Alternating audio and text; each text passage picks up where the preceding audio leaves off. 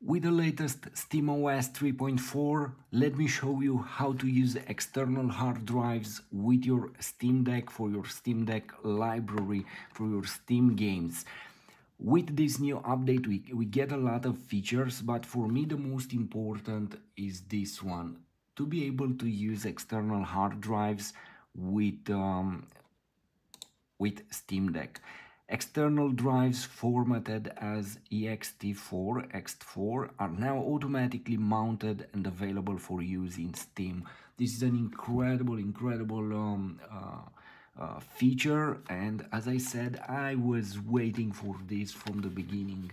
Um, I have here a 4 terabyte um, uh, hard drive and this is fantastic but it's not an automatically process. Let me show you how to format this and how to set writing permissions for it. Otherwise you won't be able to access it for steam library. So um, here it is. This is the hard drive as you see it. It has um, four terabytes. This is it. And um, at this point uh, we can uh, we can mount it in steam. But let's go here and let me show you every every step. Go uh, to system select um, KDE partition manager. Just open it enter your password. By the way you have to set a password for your user. And at this point we have the external drive here we will need to format it in ext4 for that anything that you see here in this window just click on it. If you if you cannot delete it press unmount. And at this point you can right click press delete. And after that here press apply. Apply pending operation and wait. After this operation we will um, we will format basically uh, this unallocated space 3.6 terabytes. So right click here select new and here select external 4 ext4 ext4 put your name here. Just select select by the way uh, uh, write a label for for this I will put HDD and press OK after that. And don't forget to press apply to execute this and you will have to wait. I will let the video to see how much time you need for um, this hard drive 4 terabytes to be um, formatted as ext4 from this point you are at half and now all you have to do is to set writing permissions. Otherwise you won't be able to use the hard drive for your steam library.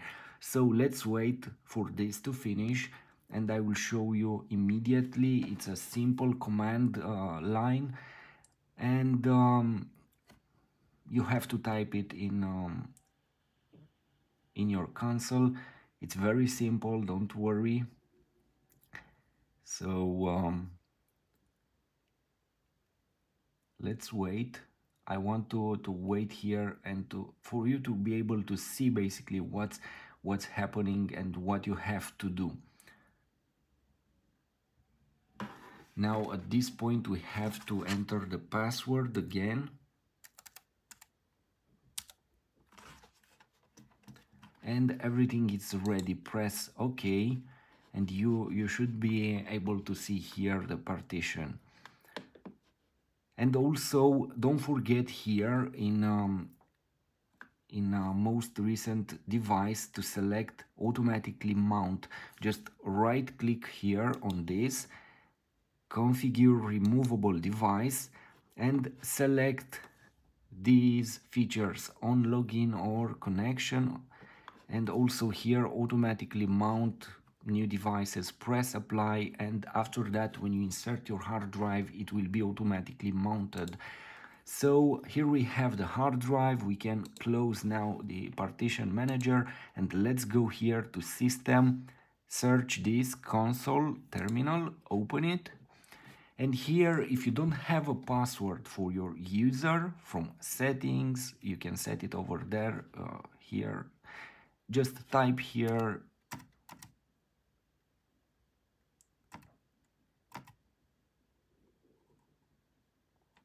um, one moment. In fact I believe this is it. Password um, to be able to, to, to set it you have to type pass um, D in fact if I'm not wrong. Let's this is it you have to type this. And you will be asked asked to to enter a new password if you don't have one and after that to repeat it. And this is it. You you will uh, you you will set from here the password. Let's close this and let's uh, let's open it again I have a password so I don't have to I don't have to enter another one. So uh, again I repeat you will need a password in order to to make all these steps. After you have a password open this and um, enter cd space slash run slash media slash deck slash. So this is the code. And press enter. At this point type L and S two letters press enter and you see your hard drive at this point we have HDD. If you don't set a name in uh, KDE partition manager, you'll see here a long number. So um, you want to you you want to basically to, for it to be easier for you to not copy paste. At this point to to set writing permissions, let's check it here to to see what it will change. So we have here the hard drive. If we, if we click here on properties, we see permissions here, user root, and the deck doesn't have permissions to, to, to, to write anything here. Immediately I will show you how this changes. So after you after uh, you type ls and see the, the hard drive name, type here sudo space chown or ch own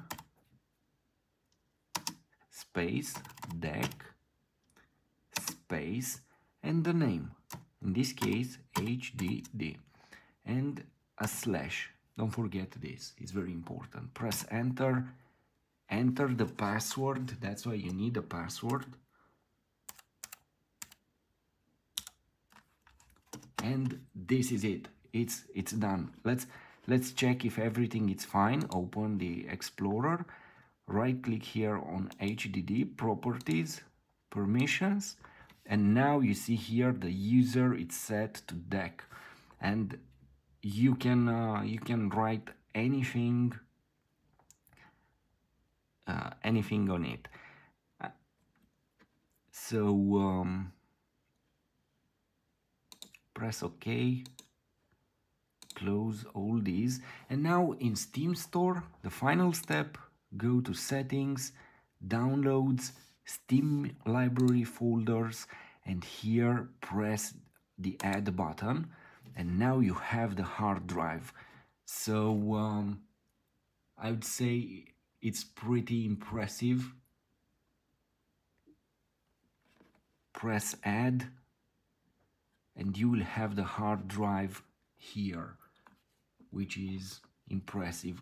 As I said I wanted this feature for so long and finally here it is. At this point you can install anything on your um, let's let's go to uh, to gaming mode to to see that the hard drive is there and that you have uh, those uh, four terabytes available for uh, for your games.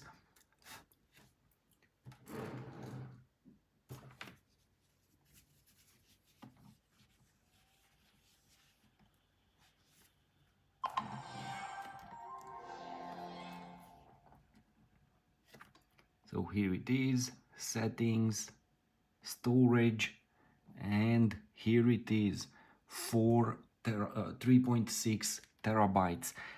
This is um, this is great and now you can use any hard drive for your games